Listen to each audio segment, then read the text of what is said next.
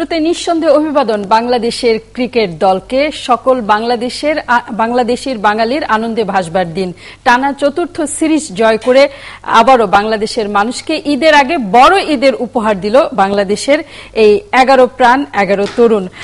মাস্টাফি মর্তুজার দলকে নিঃসন্দেহে অভিনন্দন একাত্তরের পক্ষ থেকে, একাত্তর জার্নালের পক্ষ থেকে। সেই খবরের আলোচনায় স্বাগত জানাচ্ছি আমি ফারজানা রূপা। আপনারা জানেন, সময়টি একাত্তর জার্নালের প্রতিদিন। আমরা খবর নিয়ে এখানে আলোচনা করি। আর আজকে নিঃসন্দেহে পত্রিকার ভাষায় একেবারে এপাশ থেকে ওপাশে লাল কলমে হেডলাইন করবার মতো খবর। আর টেলিভিশনে প্রধান শিরোনাম তো বটেই এটি। ফলে এই খবর নিয়ে কথা বলব, নিঃসন্দেহে কথা বলব। আমরা যেমনটা বলি, অন্যান্য খবরের শিরোনাম নিয়েও যেমনটা বলছিলাম, ঈদ প্রসঙ্গে ঈদে ঘরমুখ মানুষ নারীর টানে ঢাকা ছাড়তে শুরু করেছেন। তাদের যাতায়াত পথে নানান খবর আছে আছে ঈদ বাজারের খবরও। সেই সব খবর নিয়ে কথা বলবার জন্য আমাদের সাথে এরই মধ্যে যুক্ত হয়েছেন জার্নালের টেবিলে ইলিয়াস খান সাংবাদিক সাংবাদিক শাবান মাহমুদ। স্বাগত জানাচ্ছি আপনাদের সকলকে।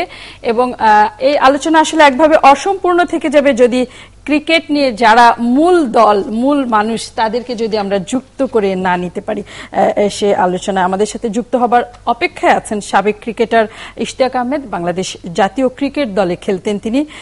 আমাদের সাথে যুক্ত হবেন সহকর্মী ফাহিম রহমান, যিনি হচ্ছে আমাদের সাথে একাত্তর টেলিভিশনে সাংবাদিকতা করেন, খেলার জগতের খোঁজ খবর রাখেন। নিশ্চয়ই দুজনেই খেলা দেখছিলেন। জি আমি দেখেছি। ইলিয়াস খান। কেমন আমি উচ্ছ্বসিত উদ্বেলিত যখন বৃষ্টির কারণে খেলাটা বন্ধ ছিল অনেক সময় আমার খুব খারাপ লাগছিল এবং কাকতালীয় ভাবে আজকে মানুষ নানা দুর্ভোগের সঙ্গে বাড়িতে যাচ্ছে। এই খবরগুলো যখন দেখছিলাম পাশাপাশি খেলা দেখছিলাম। তো এই সংবাদের পরে আমি আমি একটি মার্কেটে ছিলাম রাজধানীর। খেলার খবর শুনে, রেজাল্ট শুনে সব মানুষ উচ্ছ্বসিত।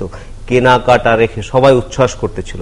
এটি আমাদের জন্য একটি আনন্দের বিষয় এবং আপনি যে কথাটা শুরুতেই বলেছেন যে চারটি দলকে, অনেকে কিন্তু ভেবেছিল এটা ফ্লোক, যে জিম্বাবুয়েকে হারিয়েছে, ওকে, পাকিস্তানকে হারিয়েছে, পাকিস্তান এখন দুর্বল টিম নেক্সট দেখা যাক, ভারতকে আমরা হারিয়েছি এবং পৃথিবীর মধ্যে অন্যতম হয়েছেন ইলিয়াস খান ইশতিয়াক আহমেদ খেলার মানুষ সাবেক ক্রিকেটার এবং আছেন ফাহিম। আমি আসলে ফাহিমকে দিয়েই শুরু করতে চাই। ফাহিম আপনার খেলা জগতের সাংবাদিকতার সাথে সাথেই তো দেখতে পাচ্ছি যে ক্রিকেট দলেরও উত্থান হচ্ছে। ফলে একভাবে যেমন ফাহিম আমাদের ক্রীড়া সাংবাদিকতার জগতের একজন বড় স্টার হিসেবে আমরা ফাহিমকে দেখি ঠিক সেই নক্ষত্রের যত আলো ছড়াচ্ছে, ততই বাংলাদেশের ক্রিকেট দলেরও এইরকম একের পর এক জাতীয় আনন্দের অভিষেকের ঘটনা ঘটছে। ফাহিম আজকের জয় নিয়ে তো আপনি কথা বলবেন, কিন্তু আমি একটু জানতেই চাই কি রহস্য বাংলাদেশ ক্রিকেট দলের আলাদিনের চারাকটা আসলে কোথায় যে সৌম্য বাহিনী এইরকম সরকারি জয় ছিনিয়ে আনছে? রূপা, আপনাকে ধন্যবাদ। কয়েকটা বিষয় আর কি কেন এই ধারাবাহিক সাফল্য? আসলে সাফল্য তো আসলে এটা কিন্তু রাতারাতি সাফল্য না। একটা ধারাবাহিক প্রক্রিয়ার ভেতর থেকে বাংলাদেশ দল আজকের এই জায়গায় এসে পৌঁছেছে। কয়েকটা বিষয় খুব গুরুত্বপূর্ণ, তার ভেতরে এক হচ্ছে ক্যাপ্টেন কে দলকে নেতৃত্ব দিচ্ছেন, কেমন করে তিনি নেতৃত্ব দিচ্ছেন? মাশরাফি বিন মর্তুজা, তার অসাধারণ নেতৃত্ব, মাঠে যেভাবে সামনে থেকে তিনি সবসময় দলকে নেতৃত্ব দেন, সেটা একটা বড় ভূমিকা রাখছে ধারাবাহিক সাফল্য পেতে। নাম্বার টু বাংলাদেশ দলের কোচ হাতুরু সিংহে। তিনি এক ধরনের মন্ত্র তিনি জোপে দিচ্ছেন খেলোয়াড়দের হৃদয়, একটা আত্মবিশ্বাস তৈরি করে দিচ্ছেন, যার প্রতিফলন কিন্তু ক্রিকেটাররা বাইশ গজে গিয়ে, মাঠে গিয়ে সেটার প্রতিফলন তারা দেখাচ্ছে। সো এই হাতুরু সিং এর সবচেয়ে পছন্দের ক্রিকেটার আমরা জানি সৌম্য সরকার। একেবারে শুরু থেকে আমরা জানি, যখন থেকে দলে সৌম্য সরকার ঢুকেছেন, তখন থেকে হাতুরু সিং এ বলেছেন যে তার খুবই খুবই খুবই পছন্দের একজন ক্রিকেটার সৌম্য সরকার। এবং সৌম্য কেন পছন্দের সেটা কিন্তু সৌম্য ম্যাচ বাই ম্যাচ তিনি সেটা প্রমাণ দিয়ে চলেছেন। কোচের একটা বড় ধরনের ভূমিকা সবসময় থাকে খেলাধুলার ক্ষেত্রে। হাতুরু সিংকে কেউ অবশ্যই সেক্ষেত্রে কৃতিত্ব দিতেই হয় এবং তৃতীয়ত বাংলাদেশ ক্রিকেট বোর্ড। বোর্ড কীভাবে পরিচালনা করা হচ্ছে এবং সেক্ষেত্রে অবশ্যই বিসিবি প্রেসিডেন্ট। আপনি জানেন প্রথম ওয়ানডে হেরে যাওয়ার পর বিসিবি প্রেসিডেন্ট তিনি খেলোয়াড়দের সাথে কথা বলেছেন। তিনি জানতে চাইছেন সমস্যাটা আসলে কোথায় হচ্ছে। তিনি সাহস যোগানোর চেষ্টা করেছেন এবং তার প্রেক্ষিতে আমরা দেখলাম পরপর দুটো ম্যাচে অর্থাৎ একটা দারুণ যে কামব্যাক এই জায়গায় আপনাকে থামাবো। এই বিষয়ে আমার নিজের কৌতূহল আছে আমি জানতেই চাইব। তখন যখন বিসিবির প্রেসিডেন্ট তাদের সাথে বসলেন আমার নিজেরও একভাবে মনে হয়েছিল যে ক্যাপ্টেন এবং কোচের মধ্যে কোনোভাবে ইন্টার ইন্টারফেয়ারেন্সের ঘটনা ঘটছে কিনা বা দল যদি আসলে পরাজিত হতো তাহলে সেটার ভুল ব্যাখ্যা হতো কিনা আপনার মন্তব্য জানব। আমি ইশতাক আহমেদের কাছে একটু ঘুরে আসতে চাই। আমি আজকের খেলা প্রসঙ্গে আপনার কাছে জানতে চাইব। আজকের খেলার কোন কোন দিক? সৌম্য নিঃসন্দেহে অসাধারণ খেলেছে অনেক বড় ইনিংস তার মাশরাফি সাকিবের দুশোতম উইকেট, আমাদের বড় অর্জন সব মিলিয়ে আজকের খেলার উল্লেখযোগ্য বিশ্লেষণ আপনার কাছে জানতে চাই ইশতাক আহমেদ। উল্লেখযোগ্য দিক বিশেষ করে কোনোটাই আমি আমি কোনটা বলব আমি নিজেও জানি না।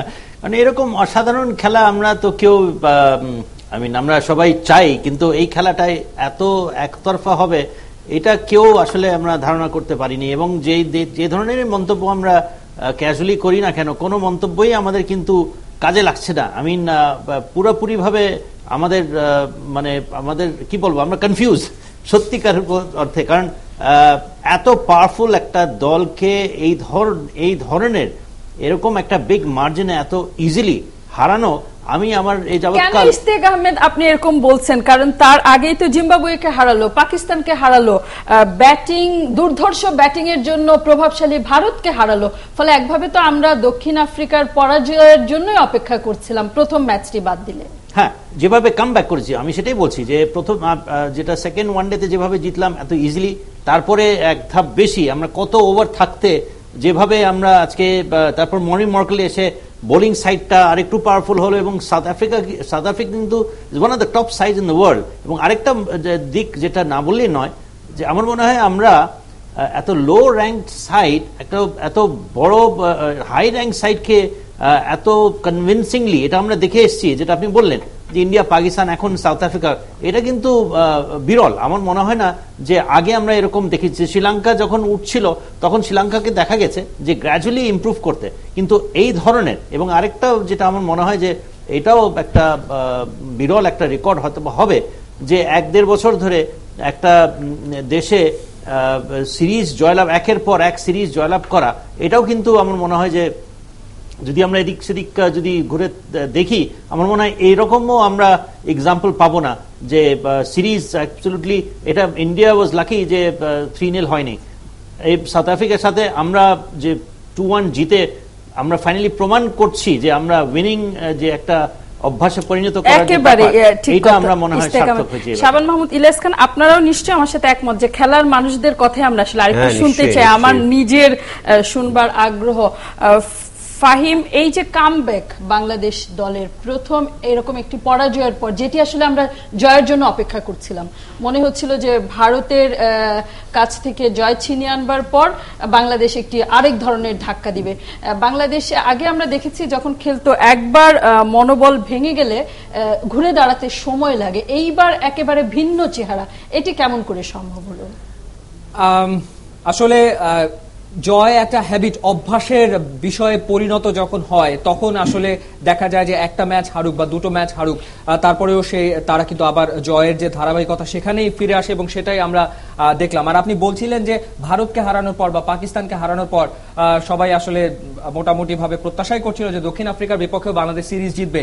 কিন্তু টেকনিক্যালি আমার মনে হয় ইশতিয়াক ভাই এই ব্যাপারে একমত হবে যে technically South Africa team Pakistan বা ভারতের চেয়ে অনেক অনেক অনেক বেশি সাউন্ড এবং অনেক বেশি শক্তিশালী। তারা। ব্যাটিং, বোলিং, ফিল্ডিং সবকিছু বিবেচনায় আনলে এই দক্ষিণ আফ্রিকান সাইড তারা ভারতের চেয়ে ব্যারার তারা পাকিস্তানের চেয়ে ব্যারার এবং আরেকটা তথ্য আপনাকে জানিয়ে রাখি যে কিছুক্ষণ আগে যেটা বললাম যে, অভ্যাসটা খুব গুরুত্বপূর্ণ। দু হাজার চোদ্দ থেকে শুরু করলে দু হাজার এই মাঝামাঝি সময়ে আমরা এখন পর্যন্ত পনেরোটা ওয়ানডে জিতেছি, পাঁচটা মাত্র আমরা ওয়ানডে হেরেছি এই সময়। এবং এই সময়কালে বাংলাদেশের চেয়ে সফল একটাই মাত্র ইন্টারন্যাশনাল ক্রিকেট সাইড আছে, সেটা হলো নিউজিল্যান্ড আমাদের চেয়ে বেশি ম্যাচ কেবলমাত্র নিউজিল্যান্ড জিতেছে এবং দ্বিতীয় অবস্থানে কিন্তু বাংলাদেশ রয়েছে এই মুহূর্তে। অর্থাৎ প্রতিনিয়ত জয় পাওয়া ফাইন এটা কি নিউজিল্যান্ড না অস্ট্রেলিয়া? নিউজিল্যান্ড সবচেয়ে বেশি জয় পেয়েছে দু থেকে শুরু করে এখন পর্যন্ত নিউজিল্যান্ড দু নম্বরে রয়েছি আমরা আর কি ঠিক এই মুহূর্তে। এবং এর পরবর্তীতে অস্ট্রেলিয়াকেও বাংলাদেশ মোকাবেলা করতে যাচ্ছে আহ, খুব অল্প সময়ের ব্যবধানে। সেখানে অবশ্য টেস্ট ম্যাচ। এখন পর্যন্ত অস্ট্রেলিয়ার সাথে স্ক্যাজুয়াল হয়ে আছে টেস্ট ম্যাচ। সেটা অন্য একটা ফরম্যাটের খেলা এবং সেই খেলাটা আরও বেশি কঠিন। ওয়ানডেটা আমরা মোটামুটি রপ্ত করে ফেলেছি, ওয়ানডেটা আমরা খেলতে শিখেছি, খেলতে জানি এবং জিততে জানি। কিন্তু টেস্ট ম্যাচ নিয়ে যখন আলোচনা হয়, তখন টেস্ট ম্যাচ কিন্তু এখনও পুরোপুরি আমরা খুব যে ভালোভাবে খেলাটাকে রপ্ত করতে পেরেছি সেটা নয়। সুতরাং টাইগারদের জন্য কঠিন পরীক্ষা অপেক্ষা করছে। সাউথ আফ্রিকার সাথে দুটো টেস্ট আমাদের খেলতে হবে এবং এরপর অস্ট্রেলিয়ার সাথে আমাদের দুটো টেস্ট স্ক্যাজুয়াল হয়ে আছে। আমার মনে হয় যে সেটা আরেকটা পরীক্ষা যে পরীক্ষায় টাইগাররা তারা পরীক্ষাটা দেবে। আমরা টি টোয়েন্টির সাফল্য ব্যর্থতা নিয়েও আপনাদের মন্তব্য জানতে চাইব। শাবান মাহমুদ তো নিশ্চয়ই আজকে খেলা দেখেছেন। পথে ঘাটে মানুষের উচ্ছ্বাস এবং মানুষ সব কষ্ট আসলে ভুলে গিয়েছে। এরকম একটি ক্রিকেটে বিজয়ের পর। অবশ্যই মানে আমরা সাউথ আফ্রিকার সঙ্গে যখন টি টোয়েন্টিতে হেরে গেলাম দুটো খেলায় এবং পরবর্তীতে ফার্স্ট ওয়ানডেতেও যখন হেরে গেলাম তখন আমরা কিছুটা হতাশ হয়েছিলাম। তবে আমরা আত্মবিশ্বাসের জায়গায় আমাদের কিন্তু কোনো ধরনের ঘাটতি ছিল না বা কোনো ধরনের বিচ্যুতি ঘটেনি। তার একমাত্র কারণ আপনি যে কথা আগেই বলছিলেন, যে এর আগের তিনটি স্ট্রং টিমকে জিম্বাবুয়ে, পাকিস্তান এবং ভারতকে আমরা যেভাবে সিরিজ জয়ের ভেতর দিয়ে আমাদের দর্শকদের কাছে বাংলাদেশ ক্রিকেট টিম যেভাবে নতুনভাবে মানে তারা পরিচিতি লাভ করেছে এবং আমাদের দর্শকদের হৃদয়ে তাদের জায়গাটা, আমাদের এক্সপেকটেশনটা এত হাই এবং আমাদের কনফিডেন্স লেভেলটা যে জায়গায় নিয়ে গেছে আমাদের বাংলাদেশ টিম সেখানে আমরা আমরা হতাশ হলেও আমাদের আশা ছিল যে আমরা কাম ব্যাক করব। এবং আমরা যেভাবে কাম ব্যাক করেছি, এর ভেতর দিয়ে প্রমাণিত হয়েছে যে আমাদের জয়টা কোনো দুর্ঘটনা নয়। এটি আমাদের দক্ষতার ফল। এবং আমি তো বিশ্বাস করি যে এবার যারা ওয়ার্ল্ড চ্যাম্পিয়ন হলো অস্ট্রেলিয়া, সেই অস্ট্রেলিয়ার সঙ্গে আমাদের রেজাল্ট কি হবে জানি না, তবে অস্ট্রেলিয়ার টিম এখানে আসার আগে বাংলাদেশ টিমের সঙ্গে লড়তে হবে। এই মানসিক প্রস্তুতি নিয়ে তাদেরকে আসতে হবে। এবং আমি বিশ্বাস করি, যদি আমার এই ব্যাখ্যাটি সাইন্টিফিক হবে না, তারপরেও কীভাবে যেন ঈশ্বরের আশীর্বাদ বা প্রকৃতি তাদেরও একটা মানে এই ক্রিকেট টিম কখন হচ্ছে, কীভাবে হচ্ছে, তার একটা অদ্ভুত মিল খুঁজে পাই আমি। আমি বলতে বাধ্য যে, বর্তমান নেতৃত্বাধীন যে গভর্নমেন্ট সরকার প্রধান, শেখ হাসিনার এই সরকারের আমলেই প্রথম বাংলাদেশ কিন্তু বিশ্ব ক্রিকেটে তাদের অভিষেক ঘটে। এবং পরবর্তীতে এই সরকার যখনই এসেছে, তখনই এই ক্রীড়াঙ্গনে কীভাবে যেন একটা মানে আমাদের এক্সপেকটেশনের বাইরে একটি ফল আসে। আমরা- কি খেলাকে আসলে রাজনীতির সাথে যুক্ত আমি মিলাতে পার চাই না বা এটার সাইন্টিফিক ব্যাখ্যা নেই। তারপরে ঈশ্বরের আশীর্বাদ বলেন ভাগ্য বলেন বা প্রকৃতির একটা মানে ফেভার বলেন চলে আসে। আমি এই জায়গায় রাজনীতি মিলাতে চাই না।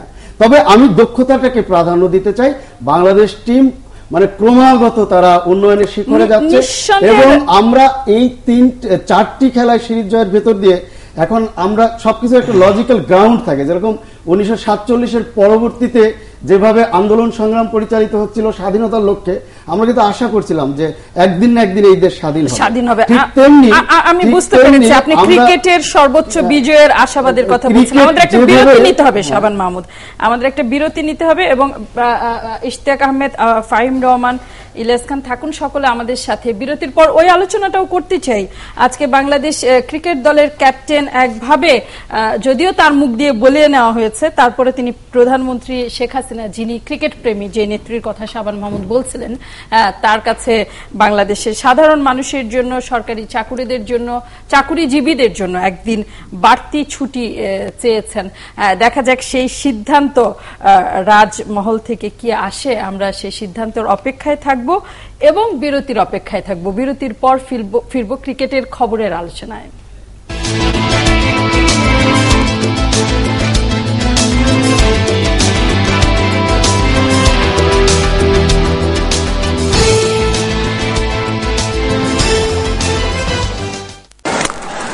Strokes it away to the gap. In the covers, that's going to go for four runs. শেষ ওয়ানডেতে দক্ষিণ আফ্রিকাকে হেসে খেলে নয় উইকেটে হারালো টাইগাররা। জিতল সিরিজ। সৌম্য সরকারের অনবদ্য নব্বই। ঈদ করতে রাজধানী ছাড়ছেন লাখো মানুষ। ঈদের বিশেষ ট্রেন সার্ভিস শুরু। সদরঘাটে উপচে পড়া ভিড়। শেষ মুহূর্তের ঈদ কেনাকাটায় বাদ সেধেছে বৃষ্টি। রাজধানীর বিভিন্ন এলাকায় জলজট, যানজট। শিশু রাজন হত্যা মামলা বিশেষ আদালতে পাঠানোর চিন্তা। জড়িতরা রেহাই পাবে না বললেন স্বরাষ্ট্রমন্ত্রী।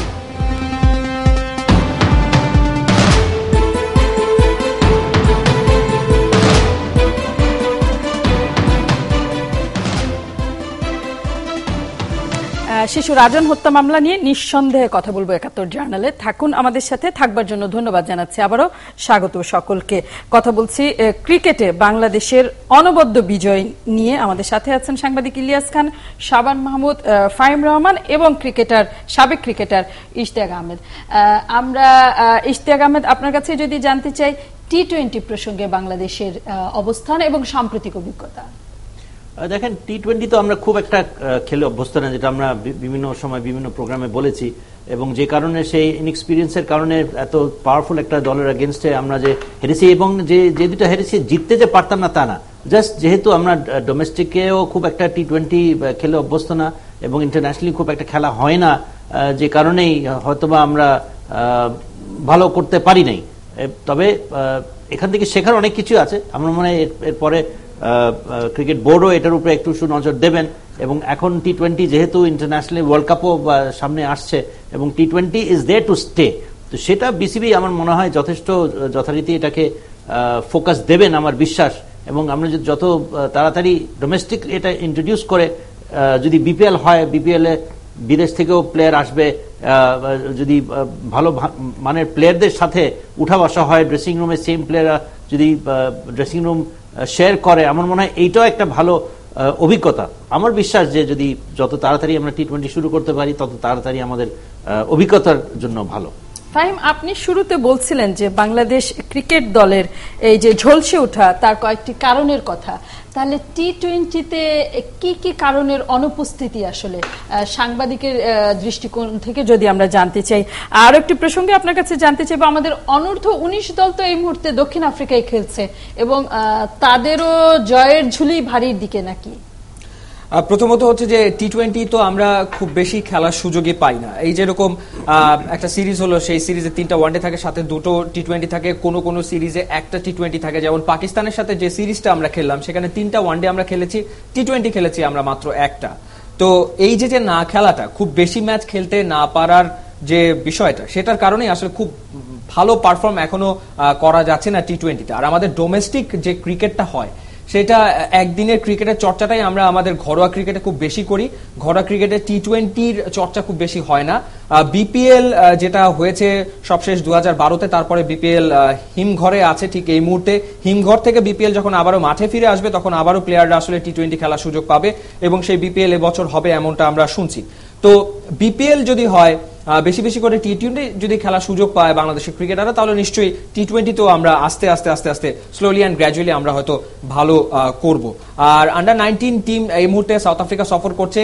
এই আন্ডার নাইনটিন টিম কিন্তু আমাদের ঘরের মাটিতে সাউথ আফ্রিকার আন্ডার নাইনটিন টিমকে ছয় এক ব্যবধানে সাত ম্যাচের ওয়ানডে সিরিজ হারিয়েছে।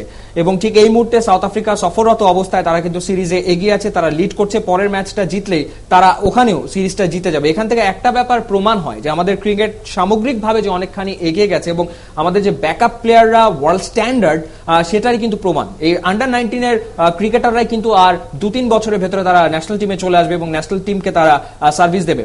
সুতরাং তারা ওই ওই মানসিকতা আসতে চাচ্ছিলাম ফাহিম যে ইশতিয়াক আহমেদদের যে উত্তরসূরিরা বাংলাদেশ ক্রিকেটে খেলছেন সাকিব মাশরাফি এর পরে আসলে এই ধারাবাহিকতাটা ধরে রাখবার জন্য যথেষ্ট প্রস্তুতি আছে কিনা যেটি আপনি বলতে শুরু করেছেন?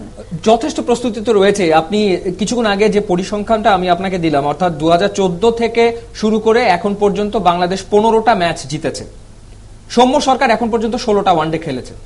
এবং অর্থাৎ টোটাল যে বিশটা ম্যাচ আমরা খেললাম, যার পনেরোটায় আমরা জিতলাম, পাঁচটাতে আমরা হারলাম, এই বিশটা ম্যাচের ভেতরে ষোলোটা ম্যাচ কিন্তু সৌম্য সরকার খেলেছে। সুতরাং সৌম্যের দলে অন্তর্ভুক্তি, সেটা কিন্তু বাংলাদেশের সাফল্যকে ত্বরান- ত্বরান্বিত করার ক্ষেত্রে এক ধরনের বড় ভূমিকা রাখছে। মুস্তাফিজ দলে আসার পর থেকে বা তার আগে সাব্বির যখন দলে এসছে, সেটারও একটা ইতিবাচক প্রভাব ছিল। অর্থাৎ যারা বাংলাদেশ দলে ঢুকছে, তারা পরিণত হয়ে তারা একেবারে আন্তর্জাতিক পর্যায়ে খেলার মানসিকতা এবং স্কিল এ দুটো ব্যাপারকে সাথে নিয়ে জাতীয় দলে ঢুকছে, যে কারণেই কিন্তু আমরা সাফল্য পাচ্ছি এবং আমার ধারণা যে এই সাফল্যের ধারাবাহিকতা অব্যাহত থাকবে। ফাহিম নিঃসন্দেহে এই খেলার চূড়ান্ত লক্ষ্য যেটি শাবান মাহমুদও বলবার চেষ্টা করেছেন বিশ্বকাপ দুই হাজার আঠারো এর পরবর্তী বিশ্বকাপ এবং গত বিশ্বকাপ সহ আপনার খেলা কাভার করার অভিজ্ঞতা হয়েছে। এখন আমাদের নায়ক যারা, আমরা যাদের খেলা দেখছি তাদের কেমনতর পারফরমেন্স আপনি দেখতে পান আগামী বিশ্বকাপে? প্রথমত হচ্ছে যে অবশ্যই ভীষণ রকম ইতিবাচক এবং সম্ভাবনা আগে তো চ্যাম্পিয়ন্স লিগ আছে কিন্তু চ্যাম্পিয়ন্স বাংলাদেশ যেটা সুযোগ পেল। আমাদের বেশ কয়েকটা বড় টুর্নামেন্ট রয়েছে। দু হাজার ষোলোতে আমরা ভারতে গিয়ে টি টোয়েন্টি ওয়ার্ল্ড কাপ খেলব। এরপর আমরা দু হাজার সতেরোতে ইংল্যান্ডে গিয়ে আইসিসি চ্যাম্পিয়ন্স ট্রফি খেলব এবং দু হাজার আঠারোতে গিয়ে আমরা দু হাজার উনিশে গিয়ে আমরা ইংল্যান্ডে আহ, সেখানে ওয়ান ডে যে ওয়ার্ল্ড কাপ সেটি আমরা খেলব। অর্থাৎ বড় বড় টুর্নামেন্ট বেশ কিছু রয়েছে।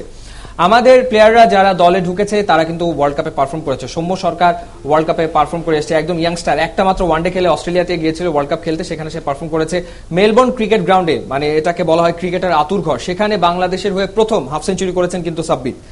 তিনি হাফ সেঞ্চুরি করেছেন। সুতরাং, আমাদের আমাদের ইয়াংস্টার যারা রয়েছে, এরা আসলে সবাই পরীক্ষিত পারফর্মার ন্যাশনাল টিমে তারা আসছে।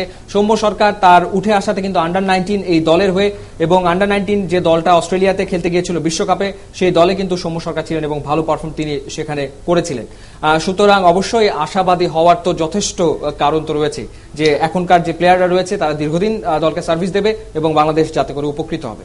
আহমেদ গত বিশ্বকাপে আমাদের এখনও ঘা শুকোয়নি পুরোপুরি, আমাদের অনেক মন ভাঙা গল্প আছে। আগামী বিশ্বকাপে যদি আমরা সেই ক্ষত পূরণ করতে চাই তাহলে পরে আমাদের কেমন লক্ষ্য নিয়ে এগুলো উচিত, আমরা কি ঠিক পথে যাচ্ছি কিনা, কোনো পরামর্শ আপনার দিক থেকে দেখতে পান কিনা? নিঃসন্দেহে। আমার মনে হয় যে যে টিমটা এত সুন্দর করে কোঅর্ডিনেশন হচ্ছে। থিঙ্ক ট্যাঙ্কস বলেন টিম মেম্বার্সগুলা বলেন সবার মধ্যে এত সুন্দর একটা আন্ডারস্ট্যান্ডিং এটা যদি বজায় রাখে এবং তাদের যে কনফিডেন্স লেভেলটা সেটাও যদি বজায় থাকে, আমার মনে হয় এটা, এটার থেকে ভালো আর আমার কোনো কারণ খুঁজে পাওয়ার কোনো আমি ইয়ে দেখছি না। এবং আরেকটা জিনিস যেটা হচ্ছে যে, যেটা ফাহিম বলল, যে ইয়াংস্টার্সরাও কিন্তু অনেক বেরিয়ে আসছে। আরেকটা জিনিস না বলেও পারছি না, যারা আমাদের সিনিয়র প্লেয়ার তারাও কিন্তু খুব একটা বয়সের দিক দিয়ে সিনিয়র না। মুশফিক তামিম সাকিব এরাও কিন্তু এখনও দশ বছর তাদের সামনে রয়েছে। এবং নিউক্লিয়াস অফ দ্য টিম এরা কিন্তু তার মানে এরা আরও দুটো করে বিশ্বকাপ খেলবার সুযোগ পাবেন। নিঃসন্দেহে এবং তারা যদি ফিটনেস বজায় রাখে এবং তাদের যে সাকিব তামিম মুশফিক মাশরাফি এরা যে যে ধরনের একটা এক্সাম্পল সেট করেছে ইয়াংস্টার্সরা যে যদি এটা ফলো করে, যেটা আমরা দেখছি চমৎকার একটা নমুনা in the form of Samar Sarkar, Sabbir Rahman, Mustafizur Rahman, Liton দাসের সম্বন্ধে অনেক কথা আমরা জানি, শুনেছি। খুবই প্রতিভা- প্রতিভাবান একজন প্লেয়ার এবং ভান্ডারে যে খুবই যে কত প্রতিভা আছে, সে সম্বন্ধে আমরা সবাই কিন্তু জানি না। সাউথ আফ্রিকা তো একটা নমুনা। সাউথ আফ্রিকার মতো দেশে গিয়ে তাদেরকে আন্ডার নাইনটিন তাদের দেশে আমরা কিন্তু উই আর ওয়ান আপ কিন্তু থ্রি টু সিরিজে সেখানে যদি আমরা ভালো খেলে এসে জিতে যদি আসি এর থেকে চাওয়ার কি আছে? এবং আরেকটা জিনিস না বললে নয় ক্রিকেট বোর্ডের রিসেন্টলি একটা প্রকল্প হাই পারফরমেন্স একটা প্রোগ্রাম নেওয়া হয়েছে, যেখানে পুরনো প্লেয়ার নতুন প্লেয়ার নিয়ে স্পেশাল একটা যেটা ক্যাম্প করা হচ্ছে, যেখানে স্কিলস টেস্ট স্কিলস অ্যাসেসমেন্ট এবং পারফরমেন্স এনহান্সিং যে যে যে যে প্রক্রিয়াগুলা সেটা কিন্তু প্রয়োগ করা হবে। এখান থেকে কিন্তু আহ, আরও অনেক প্লেয়ার যাদের যারা আগে বিগত দিনে খেলে গেছে তাদেরও একটা সুযোগ থাকবে এবং আগামীতে যারা আন্ডার নাইনটিন এই টিম এবং একাডেমি টিম সব অনেক প্লেয়ার এখান থেকেও কিন্তু অনেক প্লেয়ার বেরোবে বলে আমার বিশ্বাস এবং সামনে যে আমরা মানে ভালোর দিককে আমরা যাচ্ছি এবং আপনার প্রশ্নের উত্তর আমি এটাই বলব যে আমরা ঠিক দিকেই যাচ্ছি। অসাধারণ অনেক ইতিবাচক এবং আশাবাদের খবর। ফাইম শেষ একটা বিষয় আপনাকে জানতে চাইব। খেলার পরে যখন ট্রফি দেওয়া হচ্ছিল, তখন বাংলাদেশ দলের অধিনায়ককে ধারাভাষ্যকার একদিনের ছুটি চাইবার জন্য প্রধানমন্ত্রীর কাছে অনুরোধ করবার একটি অনুরোধ জানান এবং সেই অনুযায়ী তিনি অনুরোধও করেছেন। এই বিষয়টিতে আপনার মন্তব্য জানতে চাইব। আসলে এই ধরনের ঘটনা তো অনেক দেশে আমরা দেখেছি, প্রেক্ষাপট ভিন্ন ছিল। যেমন দু হাজার চোদ্দ সালে যখন জার্মানি ওয়ার্ল্ড কাপ জেতে আর্জেন্টিনাকে হারিয়ে, তারপর কিন্তু জার্মানিতে একদিনের ছুটি ঘোষণা করা হয়েছিল বিশ্বকাপ জেতাটা উদযাপন করার জন্য। চব্বিশ বছর পর জার্মানি ওয়ার্ল্ড কাপ জেতে, নব্বই সালে আর্জেন্টিনাকে হারিয়ে তারা ওয়ার্ল্ড কাপ জিতেছিল, তারপর আবার দু হাজার চোদ্দতে তারা ওয়ার্ল্ড কাপ জেতে। তারপর কিন্তু একদিনের ছুটি সেই দেশে দেওয়া হয়, শুধুমাত্র ওয়ার্ল্ড কাপ সেলিব্রেট করার জন্য, উৎসব জয়টা উদযাপন করার জন্য। আমরা ওয়ার্ল্ড কাপ জিতিনি, কিন্তু ষোলো বছর পর আমরা পাকিস্তানকে হারিয়েছি। অর্থাৎ এক ওয়ার্ল্ড কাপে পাকিস্তানকে হারিয়ে আসার পর ষোলো বছর পরে আমরা দেশের মাটিতে পাকিস্তানকে বাংলাবাস করেছি। আট বছর পর আমরা সাউথ আফ্রিকাকে হারিয়েছি। দু সালের ওয়ার্ল্ড কাপে সাউথ আফ্রিকাকে হারিয়ে আসার পর আটটা বছর আমাদেরকে অপেক্ষা করতে হয়েছে। তারপর কিন্তু আমরা সাউথ আফ্রিকার বিপক্ষে সিরিজ জিতেছি। তো সেই ক্ষেত্রে এখন ছুটির পক্ষের মানুষ। সেই ক্ষেত্রে এখন বাংলাদেশ অধিনায়ক তিনি আহ, অনুরোধ করতেই পারেন প্রধানমন্ত্রীর কাছে এবং প্রধানমন্ত্রী অত্যন্ত তিনি ক্রিকেট পছন্দ করেন। সব সময় দলের খোঁজ খবর রাখেন সবার খোঁজ খবর রাখেন সময় পেলেই মাঠে ছুটে যান খেলা দেখেন। তার কাছে একটা অনুরোধ বাংলাদেশ অধিনায়ক করতেই পারেন অনেক ধন্যবাদ ফাহিম রহমান অনেক ধন্যবাদ ইশতেক আহমেদ আমাদের সাথে যুক্ত হয়ে আমাদের সমৃদ্ধ করবার জন্য।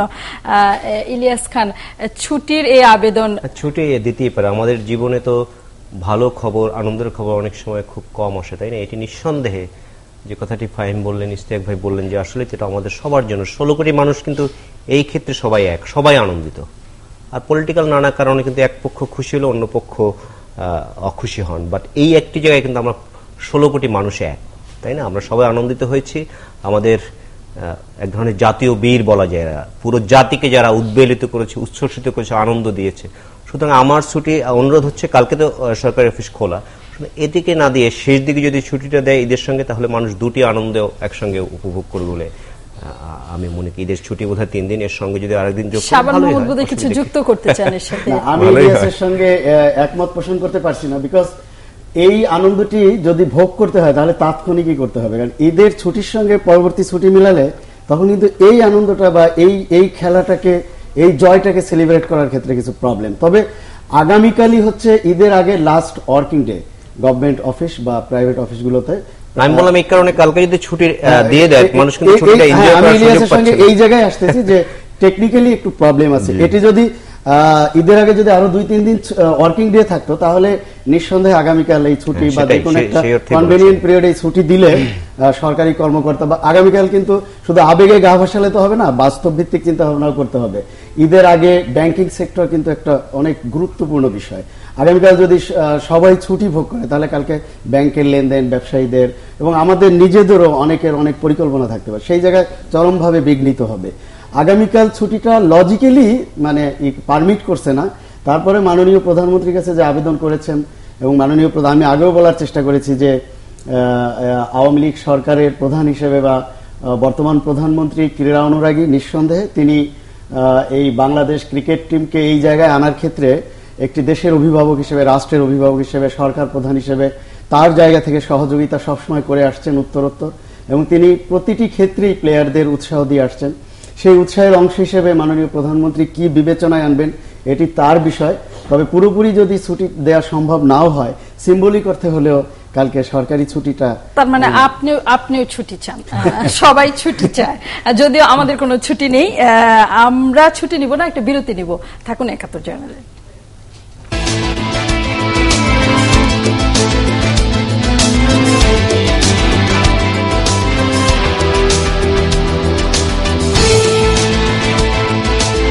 ধন্যবাদ সাথে থাকবার জন্য। দেখছেন একাত্তর জার্নাল আমাদের সাথে আছেন সাংবাদিক ইলিয়াস খান সাংবাদিক শাবান মাহমুদ। আমরা কয়েকটি পত্রিকা দেখে নিই। পত্রিকা দেখে নিয়ে কথা বলা শুরু করতে পারি। ক্রিকেট এড়িয়ে অন্য খবরে যাওয়া যদিও মুশকিল কারণ হচ্ছে এটি নিশ্চয়ই পত্রিকাগুলোরও বড় খবর।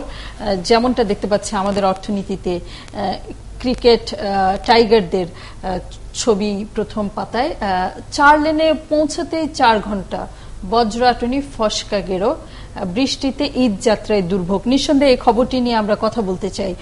বড় বড় রাস্তায় পৌঁছতেই যদি বড় সময় লেগে যায় তো আসলে কোথায় ফসকা গেরোটি লাগল আসলে। পাশে আমরা যে খবরটি দেখতে পাচ্ছি খবরটি নিশ্চয়ই ইলিয়াস খান এবং শাওন মাহমুদ আপনার চোখে পড়েছে। এবার রাজধানীতে শিশু হত্যার নির্মম ভিডিও। মানে রাজনের স্মৃতি হজম করতে না করতেই আমরা যদিও আমরা বলি যে খুবই দ্রুত বিস্তৃত হয়ে ঘটনা।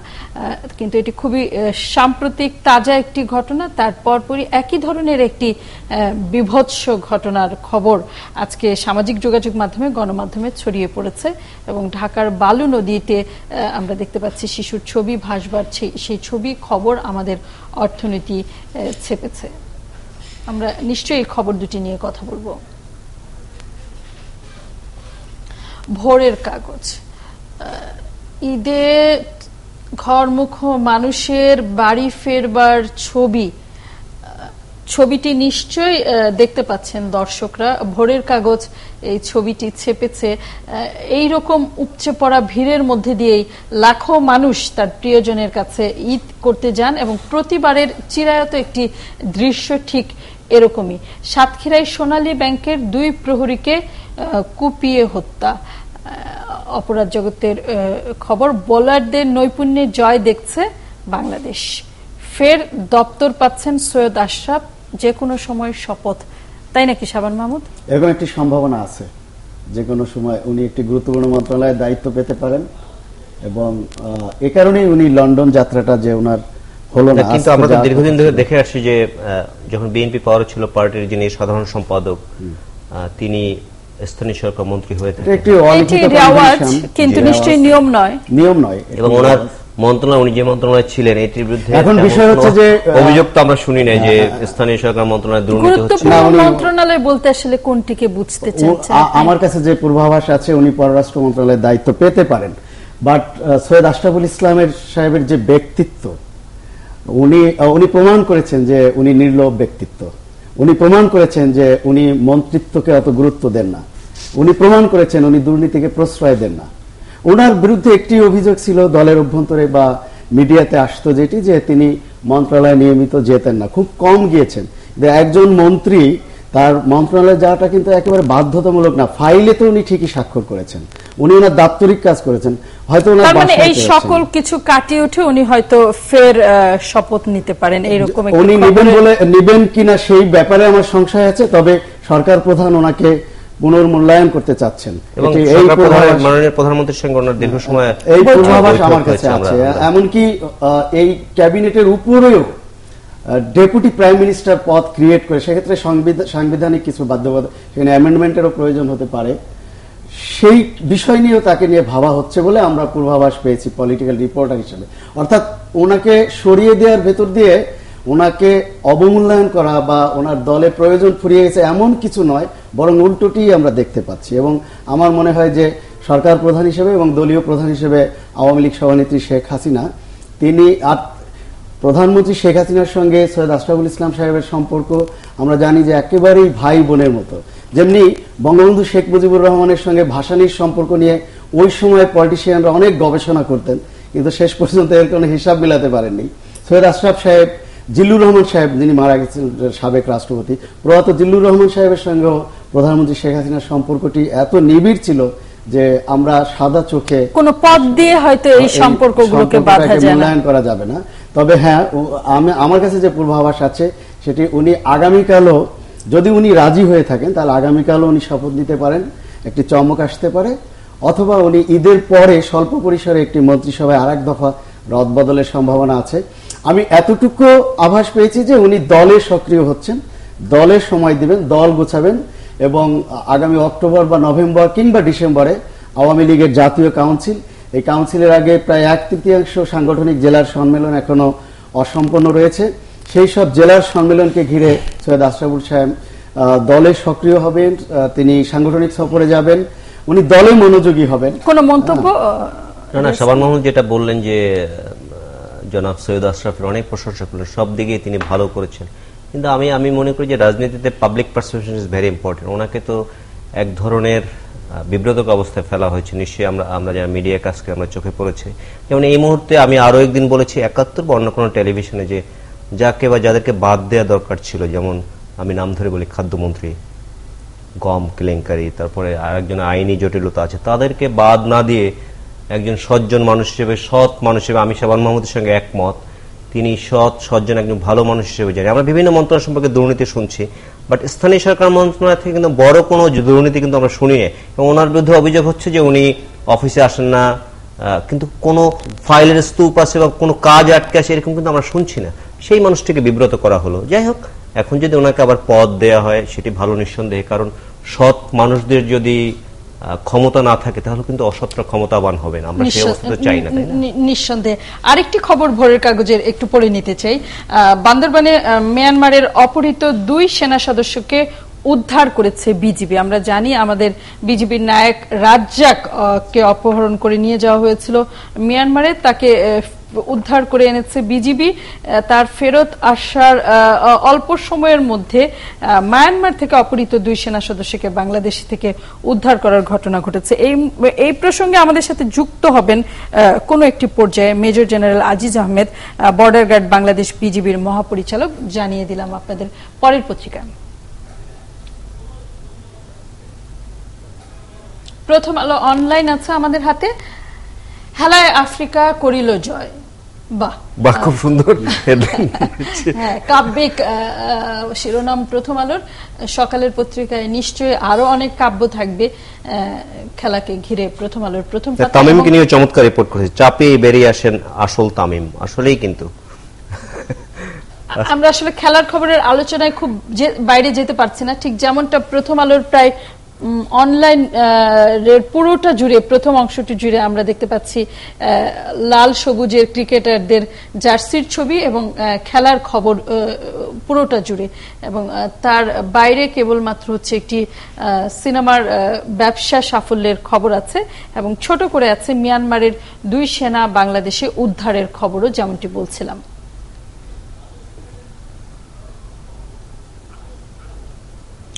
আজকের পত্রিকা, বাঘের থাবায় আফ্রিকা। বৃষ্টি মাথায় বাড়ি ফেরা, ঢাকা, চট্টগ্রাম মহাসড়কে ২২ কিলোমিটার যানজট। ঢাকা, ময়মনসিংহ সড়ক ডুবলো পানিতে। গাবতলি বাস টার্মিনাল পরিদর্শনে ওবায়দুল কাদের। ঢাকা ময়মনসিংহ সড়ক মানে নতুন যে চার লেনটি। উদ্বোধনের অপেক্ষায় সেটি পানির নিচে কেমন করে সম্ভব? ওই হ্যাঁ, রাস্তাটি হ্যাঁ, তো অনেক আজকে উঁচু। সকালে দেখেছি না নিচু জায়গা আছে। সেটি হচ্ছে গাজীপুর চৌরাস্তার পরে শ্রীপুর এবং গাজীপুরের মধ্যে। কি বাজারটার নাম আমি এই মুহূর্তে ভুলে গেছি বলেছি যে ওই এলাকায় প্রচুর পানি মাওনা মাওনা।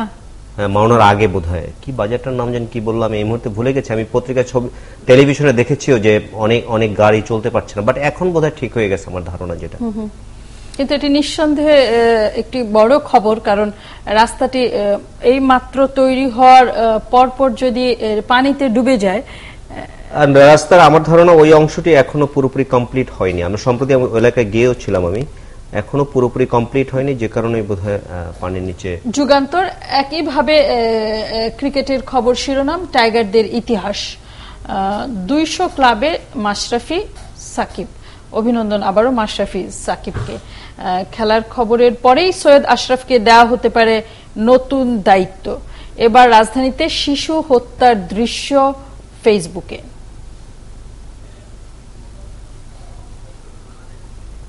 বাংলাদেশ প্রতিদিন। ঈদের পর কি করবে দুই দল? সম্মেলন, ধারাবাহিক কর্মসূচি নেবে আওয়ামী লীগ। নতুন নেতৃত্বে ক্লিন ইমেজ আনাই টার্গেট বিএনপির। আশরাফের লন্ডন যাত্রা বাতিল যে কারণে। চিকিৎসার জন্য ঈদের পর বিদেশ যাবেন ফখরুল। শিশু রাজন হত্যা খুনি ধরতে খুনি ধরতে মাঠে নামছে নেমেছে জনতা। আবারও আগুনে বোলিং আমরা যদি একটুখানি ঈদের পর কি করবে দুই দল এই প্রসঙ্গে আসলে একটু মন্তব্য নিয়েই নিতে চাই। ইলিয়াস খান আমরা তো পত্রপত্রিকা দেখছি এবং যতটুকু জানি যে বিএনপি চেয়ারপারসন বেগম খালদা জিয়া উনি চাচ্ছেন দল গোছাতে আরও ভালো করে। এই গত জানুয়ারি থেকে যে আন্দোলন হয়েছে আমি যদি একটুখানি রমজানে ইফতারে প্রধানমন্ত্রীর যে দৃশ্যমানতা বিরোধী বিএনপি চেয়ারপারসনের যে দৃশ্যমানতা আমরা দেখলাম ইফতার পার্টিগুলোকে কেন্দ্র করে তাতে কি খুব বড়ভাবে দল গুছিয়ে মাঠে নামার কোনো আভাস ইঙ্গিত দেখা যায়? না উনি তো গ্রাউন্ড ওয়ার্ক করছেন আমরা দীর্ঘদিন থেকে জানি কারণ বিগত আন্দোলনের মধ্য দিয়ে কারা আন্দোলনে ছিল, কারা ছিল না, এসব রিপোর্ট ওনার কাছে নিঃসন্দেহে আছে। এবং উনি কিছু নিরপেক্ষ সোর্স থেকে সব রিপোর্ট সংগ্রহ করেছেন বলে আমরা জানি এবং সেই অনুযায়ী নেক্সট দায়িত্ব দেওয়া হবে বিভিন্ন জেলায়, উপজেলায়, সব জায়গায় যাতে আবার, আপনি তো জানেন নিশ্চয়ই আমার সাথে সাবান মহোদয় এক হবেন, একমত হবেন যে বাংলাদেশের দুটি বড় বৃহত্তর দলের একটি হচ্ছে বিএনপি এবং ব্যাপক জনসমর্থন রয়েছে এই দলটির। তিনবার বেগম জিয়া প্রধানমন্ত্রী হয়েছে কিন্তু কোনো কারণে সুযোগ সন্ধানে বা অন্যদের কারণে আন্দোলনটা ঠিক জমাতে পারছেন না বা জমছে না। তো একবার আন্দোলন হয়নি এর মানে যে পরবর্তীতে হবে না তা তো না কিন্তু কিন্তু মধ্যমায়ের দেশ ক্রিকেটে এরকম ধারাবাহিক বিজয় কি মনে হয় খুব জমবে আসলে আর আন্দোলন বাংলাদেশে? মধ্যমায়ের দেশ আর ক্রিকেটের ধারাবাহিকতার সঙ্গে তো আন্দোলনের সম্পর্ক নেই। বট আমি যদি খুব নিঃসন্দেহে বলি যে আমার সাথে আপনারা নিশ্চয়ই একমত হবেন। আপনাদের টেলিভিশনের কল্যাণেও আমরা দেখেছি। বাংলাদেশের মানুষ কিন্তু এক ধরনের গণতন্ত্রহীনতার মধ্যে আছে। নিঃসন্দেহে যে নির্বাচন হয়েছে গত জাতীয় সংসদ নির্বাচন এটি এটি কোনো সভ্য গণতান্ত্রিক দেশে এ ধরনের নির্বাচন মেনে নেওয়া যায় না। এখন আন্দোলন হচ্ছে না দেশ সরকারি নির্যাতন নিপীড়নের কারণে হয়তো আন্দোলন জমছে আমরা আন্দোলন প্রসঙ্গে কথা বলব। আগে যে খবরটি পড়ছিলাম মিয়ানমারের দুই সেনা সদস্য বাংলাদেশ থেকে অপহরণের পর উদ্ধারের খবর সেই প্রসঙ্গে আমাদের সাথে যুক্ত হচ্ছেন major general Aziz Ahmed border guard Bangladesh বিজিবির মহাপরিচালক টেলিফোনে। জনাব মহাপরিচালক আপনি আমাকে শুনতে পাচ্ছেন? জি। আপনাকে অভিনন্দন জানাচ্ছি স্বাগত জানাচ্ছি একাত্তর টেলিভিশনে একাত্তর চ্যানেলে আমাদের সাথে যুক্ত হবার জন্য। আপনার কাছে জানতে চাইব কেমন করে এই দুই সেনা সদস্যকে উদ্ধার করা সম্ভব হলো? কারা তাদের অপহরণ করেছিল? সত্যি তারা অপহৃত হয়েছিলেন কিনা? তাদের কি উদ্দেশ্য বাংলাদেশে আসবার? জানতে পেরেছেন কিনা? এবং সেই সাথে এটিও নিশ্চয়ই গুরুত্বপূর্ণ, আমরা সম্প্রতি আমাদের সদস্য রাজ্জাককে ফিরিয়ে আনার প্রক্রিয়াটি দেখেছি। কি প্রক্রিয়ায় এই দুই সেনা সদস্যকে মিয়ানমারে ফেরত দেওয়া হবে বা তারা ফেরত নিতে চান কিনা?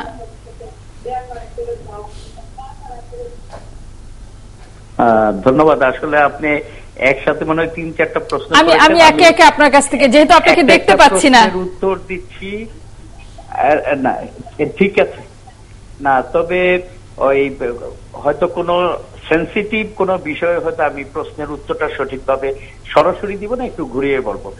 প্রথমত যে আহ, আপনারা জানেন যে আমাদের সরকারের কিন্তু যেটা স্ট্যান্ড যেটা সেটা হলো যে বর্ডার ম্যানেজমেন্টে এবং আমাদের ফরেন পলিসিতে যে আমাদের দেশের কোনো এলাকা আমাদের ফ্রেন্ডলি যে সমস্ত নেইবার আছে, তাদের কোনো মিলিটেন্ট গ্রুপ বা মিসক্রিয়েন্ট কাউকে ব্যবহার করতে কখনো দেওয়া হবে না। আমরা ভারত থেকে বিভিন্ন সময় ইনফরমেশন পেয়ে থাকি, তাদের দেশে হয়তো কিডন্যাপ করে আমাদের দেশের কোথাও হয়তো লুকিয়ে রেখেছে, এই ধরনের তথ্য আসে, তাদের ইনসার্জেন্ট গ্রুপের সম্পর্কে বিভিন্ন সময় তথ্য পাই। আমরা তখন কিন্তু না ওই এলাকাগুলোতে অপারেশন পরিচালনা করে থাকি। লাইকওয়াইজ মায়ানমার থেকেও বিভিন্ন সময় আমরা এই ধরনের অনেক তথ্য পেয়ে থাকি যে তাদেরকে দেশের হয়তো কোনো মিলিটেন্ট গ্রুপ হয়তো সীমান্ত এলাকায় এসেছে, এই ধরনের তারা তথ্য দেয় এবং এই তথ্যের উপরে ভিত্তি করে আমরা কিন্তু বিভিন্ন সময় অপারেশন পরিচালনা করে থাকি। আমরা যদি গত পাঁচ ছয় মাসের পিছনের দিকে তাকাই, আমরা কিন্তু এই ধরনের এক দুই মাস পর পরই এই ধরনের অপারেশন পরিচালনা করি। বিশেষ করে যেই এলাকাগুলো তারা বলে যে এই এলাকায় থাকতে পারে সেগুলো, এবং আপনারা জানেন যে এখনও কিন্তু আমাদের চারশো উনত্রিশ কিলোমিটার আমাদের সীমান্ত রয়ে গেছে ভারত এবং মায়ানমারের সাথে, যেটা হলো টোটালি আনগার্ড তো ওই সমস্ত এলাকাগুলোতে আমরা প্রায়ই অপারেশন কন্ডাক্ট করে থাকি- কখনো বিজিবি এককভাবে, কখনো সেনাবাহিনীদেরকে নিয়ে আমরা কম্বাইন্ড অপারেশন পরিচালনা করে থাকি। সাম্প্রতিককালে গত পাঁচ তারিখ থেকে, এই মাসের পাঁচ তারিখ থেকে গতকাল পর্যন্ত দশ দিনের আমরা একটা জয়েন্ট অপারেশন পরিচালনা করি। সেখানে বিজিবির আঠারোটা পেট্রোল ছিল, সেনাবাহিনীর চারটা পেট্রোল ছিল এবং আমাদের বিভিন্ন গোয়েন্দা সংস্থার লোকজন এখানে ছিল। আমাদের কাছে যে তথ্যগুলো ছিল যে, মায়ানমারের সেনা বাহিনীর দুজন সদস্যকে কিডন্যাপ করে সীমান্ত এলাকার কোনো জায়গায় হয়তো যে মিসক্রিয়েন্টরা হয়তো রাখতে পারে। এ ধরনের আমাদের আমাদের গোয়েন্দা সূত্র এবং বিভিন্ন মাধ্যমে আমরা কিন্তু এ ধরনের তথ্য পেয়েছিলাম। প্লাস হলো আপনারা জানেন যে সাম্প্রতিককালে মায়ানমারের বর্ডারিং এলাকাতে কিছু হলো ওদের বিভিন্ন গ্রুপের সাথে হলো ওদের আইন শৃঙ্খলা বাহিনী সামরিক বাহিনী কিছু কিছু আপ- আপনারা কি ধারণা করতে পারেন আহ, মাননীয় মহাপরিচালক যে কাদের দ্বারা এই অপহরণের ঘটনাটি ঘটেছে?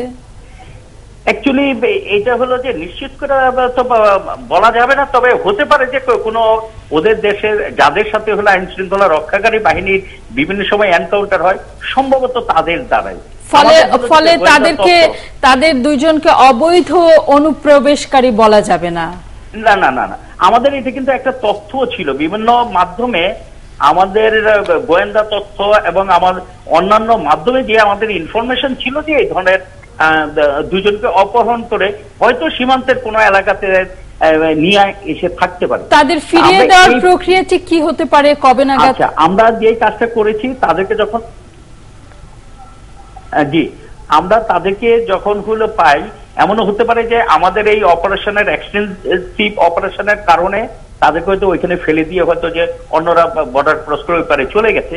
তো প্রথমে আমরা তাদেরকে একজন বেশ অসুস্থ ছিল, তাদেরকে ইমিডিয়েট ট্রিটমেন্টের ব্যবস্থা করি এবং অন্যান্য জিনিস করি।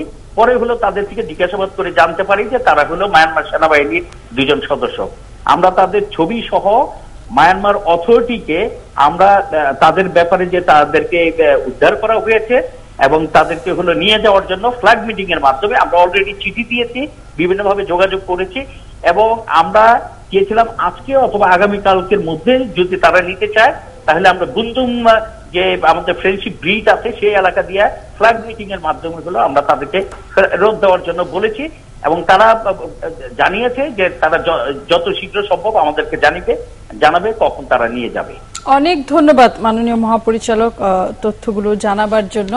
এবং বাংলাদেশ তার কূটনৈতিক যে শিষ্টাচার, সেটি চূড়ান্ত চর্চার মধ্যে দিয়ে এই দুই সেনা সদস্যকে মিয়ানমারে ফেরত দেওয়ার উদ্যোগ নিয়েছে বলে আমরা জানতে পারলাম এবং নিশ্চয়ই দর্শকরা নিশ্চিত হয়েছেন। আমরা একটা বিরতি নিয়ে ফিরছি ইলিয়াস খান এবং শাবান মাহমুদ। রাজনীতির আলোচনায় ছিলাম। যারা দেখছিলেন একাত্তর জার্নাল, থাকুন আমাদের সাথে।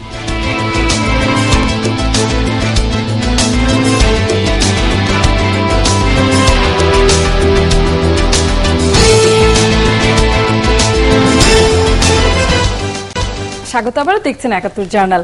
ঈদের খবরের বাইরে যাওয়ার আসলে সুযোগ নেই। ঈদ একেবারে দরজায় করা নাড়ছে এবং কোটি মানুষের প্রাণের ঈদ, প্রাণের উৎসব। এই খবর নিয়েই কথা বলব এবার একাত্তর জার্নালে। আমাদের সাথে আছেন সাংবাদিক ইলিয়াস খান, সাংবাদিক শাবান মাহমুদ এবং যুক্ত হবেন সহকর্মী জেমসন মাহবুব। জেমসন মাহবুব আছেন, দেখতে পাচ্ছি, এখনও রাস্তায় এই মধ্যরাত পেরিয়ে যাওয়ার পরও মানুষের আনাগোনা দেখতে পাচ্ছি। ধারণা করি বিপণী বিতানের সামনেই আপনি আছেন।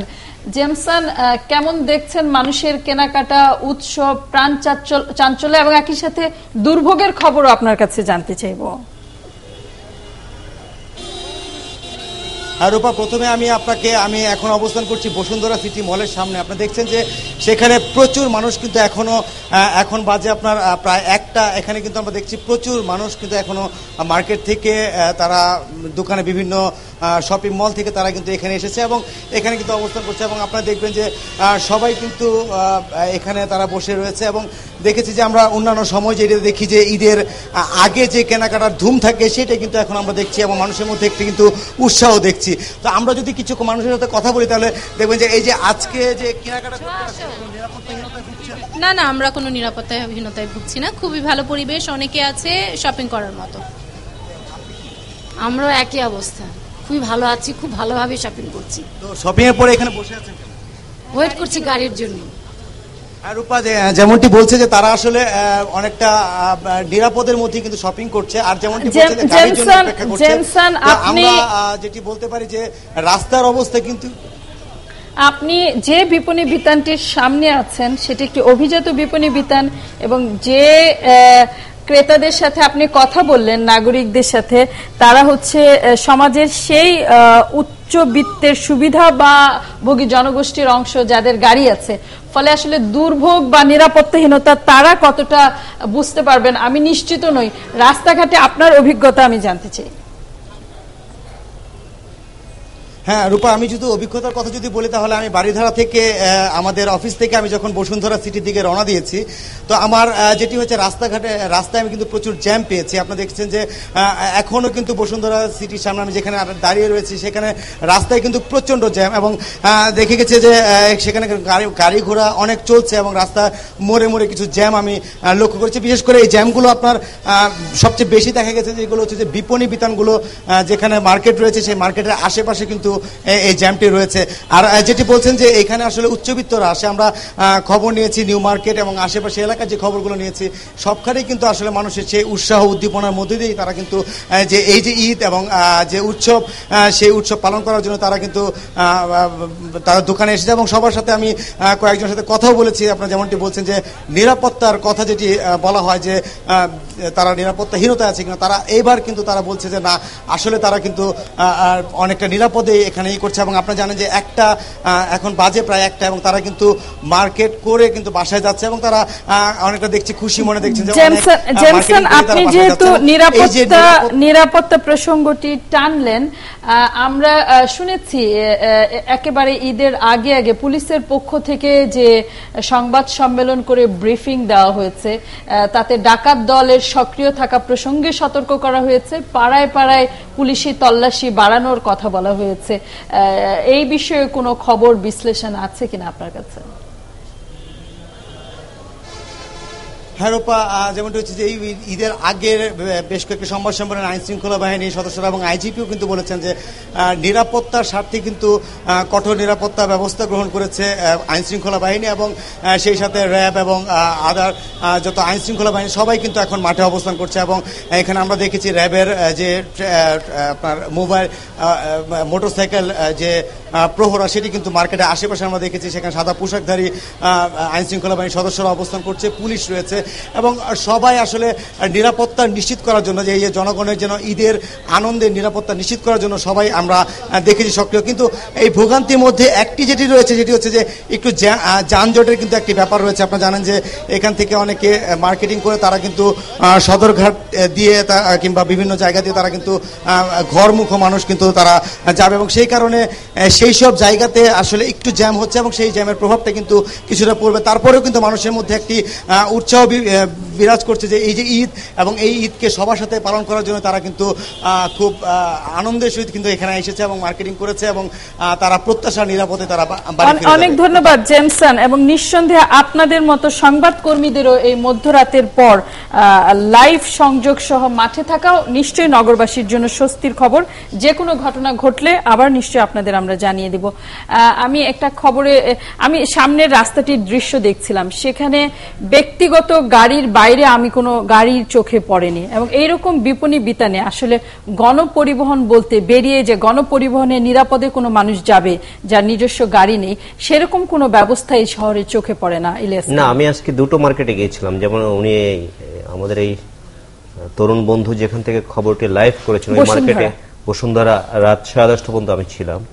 উনি যে কথাটি বলেছেন আসলে প্রচণ্ড ভিড় ছিল। সারাদিন আমি যখন বেরোচ্ছিলাম তখন দশটা পঁয়ত্রিশ বাজে বোধ হয় আমি আপনার এই স্টুডিওতে আসার জন্য বের হচ্ছিলাম। প্রচণ্ড ভিড় ছিল, এখন একটু কম দেখলাম।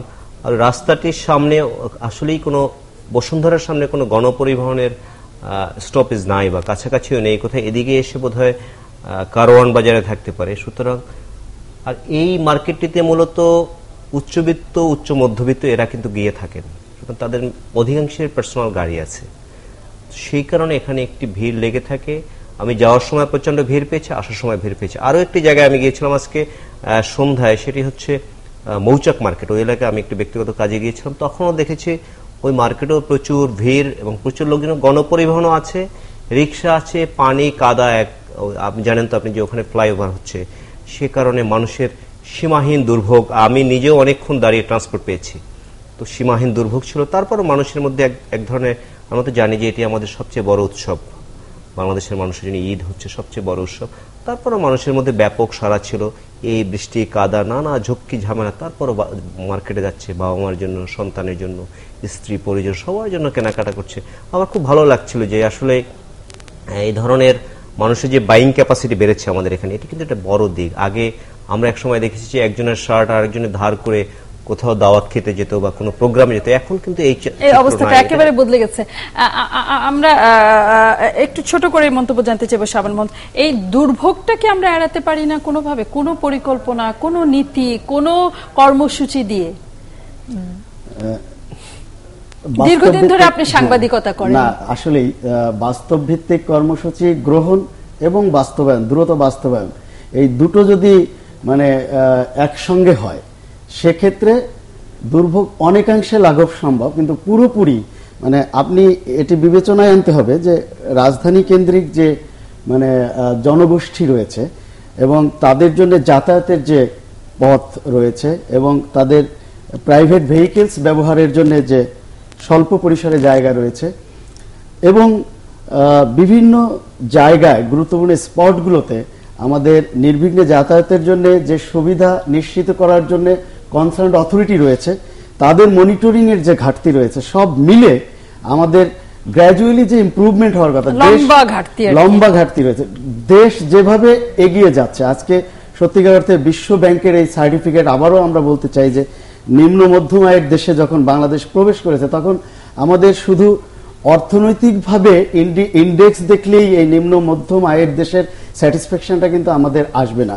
আমাদের নাগরিক সুবিধা এবং নাগরিক মৌলিক অধিকারগুলো নিশ্চিত করার জন্য সকল সেক্টরে যখন সমন্বিতভাবে এর একটি ডেভেলপমেন্ট আসবে, তখনই আসলে আমরা এর একটি মানে এই নিম্ন মধ্যম আয়ের দেশের যে সুবিধা, সেই সুবিধাটা আমরা নাগরিক হিসেবে গ্রহণ করতে সেই জায়গায় অনেক লিকেজ বা ল্যাকিংস আছে, এটা অস্বীকার করার কোনো উপায় নেই।